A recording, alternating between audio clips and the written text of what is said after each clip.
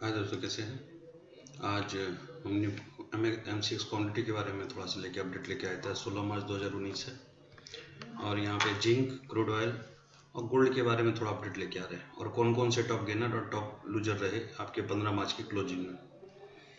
तो आप top gainer देखेंगे तो टॉप गेनर कार्डमम रहे, एक पचास, पंद्रह पॉइंट के साथ कॉटन रहा सिल्वर रहा सिल्वर एम रहा सिल्वर एम मिनी रहा सी रहा कॉपर रहा गोल्ड मिनी रहा कॉपर मिनी रहा और गोल्ड पेटल भी रहा ये सब सब टॉप गेनर के रूप में रहे।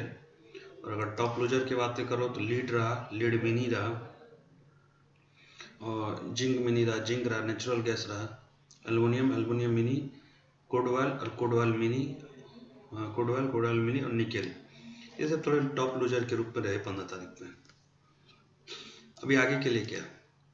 आगे वीकली पैटर्न में ये सारे वीकली डाटा में लेके आया हूँ तो वीकली पैटर्न पे जो दिख रहा है जिंक में तो एक फॉल तो हुआ है। जिंक पे ये अप ट्रेंड था, और इसको यहाँ से पूरा ख़त्म किया। इसको एक डाउन पैटर्न में देखेंगे तो हैमर पैटर्न है लो नीचे की ओर है।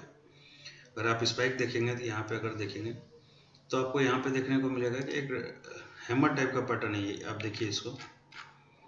तो नीचे की ओर है, पूरा गल्फ किया हुआ है। वॉल्यूम से थोड़ा सा ठीक है वॉल्यूम से दिख रहा है वॉल्यूम से, लेकिन उतना बाइंग उतनी अच्छी नहीं है जितना अच्छा फॉल हुआ था। एक बार लेके ऊपर तो गया था। तो अगर ये पैटर्न रहा तो हो सकता है कि आपको एक बार जिंक को वन एट्टी सेवन की ओर जाते हुए भी आपको वीकली पैटर्न पे आपको वन एट्टी सेवन की ओर जाते हुए जिंक दिख सकता है। और अगर जिंक को डेली पैटर्न पे भी अगर एक बार इसको कोशिश कराना है तो आप देख रहे हैं कि जो इसका मिड पॉइंट था 195 उसको ब्रेक किया इसने। और ब्रेक करके नीचे की ओर क्लोजिंग दी है। तो कहीं ना कहीं ये ब्रेक करके और ह्यूज वॉल्यूम के साथ आप देख रहे हैं यहाँ पे, अच्छे वॉल्यूम के साथ इसको तोड़ रहा है। और यहाँ पे आपको इंडिसिजिव कैंडल भी बना हुआ है। तो यहाँ के बाद एक नीचे की ओर लगता है और होता है one eighty seven one eighty nine daily basis पे वन एट्टी नाइन का सपोर्ट जिंक में दिखता है। तो जिंक में एक वीकली पैटर्न पे सेल का व्यू रहता है। क्रूड में एक अच्छा ही बुलिस पैटर्न बना या इनगल्फ बना, उसके बाद यहाँ पे अच्छा बुलिस बना वीकली बेसिस पे। तो हो सकता है क्रूड बासठ की ओर आपको जाते हुए दिखेगा। 53 का इसका अच्छा खासा सपोर्ट है। ये वीकली बेसिस पे है।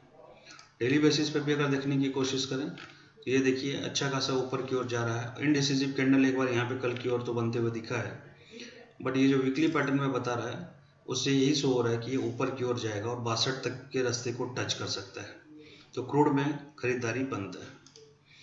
डब्ल्यू इंडिया क्रूड की बात करें तो यहाँ पे भी सेम है। थ्री एट टू थ्री का स्टॉप लॉस है, और है अपना नीचे की ओर मिड पॉइंट है, और ऊपर की ओर चार पाँच सौ है। तो यहाँ पे भी जो पोजीशन बनता है बाइंग पोजीशन बन रही है वीकली बेस, ये ऊपर की ओर जाते हुए दिखता है। डेली बेसिस पे एक ऊपर इंडिसिजिव कैंडल बना हैमर टाइप में बना अपर हैमर बना। इससे ये दिख रहा है कि ऊपर की ओर जाएगा, नीचे की ओर जाने की संभावना कम है। तो यहाँ पे यहाँ पे भी एक चार एक सौ डेली बेसिस पे चार एक बता रहा है। और वीकली बेसिस पे जाएँ तो चार पाँच सौ। तो ये अब हो सकता है कि ऊपर की ओर जाते हुए आपको क्रूड में दिखे।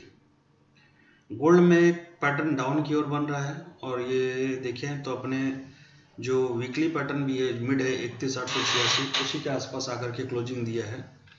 और कंटिन्यू एक डाउनफॉल का पैटर्न बना हुआ है इसमें। तो गोल्ड में वीकनेस देखने को हो रही है, हो सकता है इकतीस हज़ार और तीस हज़ार नौ सौ जो वीकली बेस पे है, वहाँ जाते हुए गोल्ड आपको दिखे। और डेली बेसिस पे कहें तो ऑलरेडी ये अपने मिड को तोड़ करके बत्तीस छः सौ बावन को तोड़ के इकतीस तीन सौ तेरह की ओर जाते हुए अग्रसर दिख रहा है तो दोनों में देखें तो दोनों में किसी में भी देखें तो ये नीचे की ओर जाते हुए दिख रहा है। तो गोल्ड में थोड़ा बिकवाली हो सकता है आपको। अगर मैं गोल्ड फ्यूचर गोल्ड इसकी बात करूँ सी की बात करूँ तो तेरह सौ दो पे क्लोजिंग दिया है। बट पैटर्न नीचे की ओर बना हुआ है। यहाँ पे एक हैमर मारा ऊपर की ओर, नीचे की ओर लिखना है। तो गोल्ड 1280 की ओर जाते हुए आपको दिख सकता है। अगर इसको डेली पैटर्न की बात करूँ तो इसको 1310 पे एक रेसिस्टेंस है। 1310 को अगर क्रॉस करता है तो फिर ऊपर की ओर तेरह की ओर जाएगा। बट ये ऊपर साइड जा चुका है तो नीचे की ओर हो सकता है, फिर चलते हुए आपको बारह की ओर जाते हुए दिखे आपको। तो गोल्ड में बिकवाली लगता है कि हावी रहेगा। और वीकली बेसिस पे अगर इसको देखने की कोशिश करें तो गोल्ड आपको बारह सौ इकहत्तर, बारह सौ अस्सी यहाँ पर जाएगा और उसको तोड़ता है तो बारह सौ चालीस की ओर। तो गोल्ड थोड़ा सा वीकनेस लगता है। क्रूड में थोड़ी मजबूती दिखती है, जिंक में थोड़ा कमज़ोरी दिखता है। तो नेक्स्ट वीक के लिए यही कम्युनिटी में थोड़ा सा अपडेट था। मेरे कहने से कोई भी पोजीशन मार्केट में मत बनाइएगा। आप पोजीशन मार्केट में बनाने से पहले अपने फाइनेंशियल एडवाइजर से ज़रूर से ज़रूर बात करें। वीडियो देखने के लिए बहुत बहुत धन्यवाद।